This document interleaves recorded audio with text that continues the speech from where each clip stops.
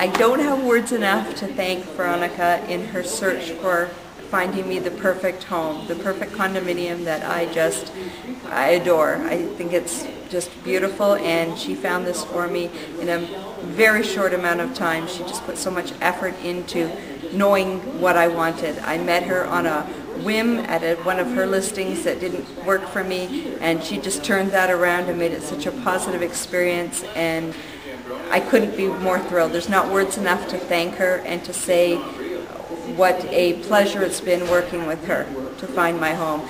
You use her, you'll find your dream home. You'll find your perfect place. And you couldn't deal with someone more honorable or, or more personable than Veronika. Thank you so much, Stacy. Thank you very much. I'm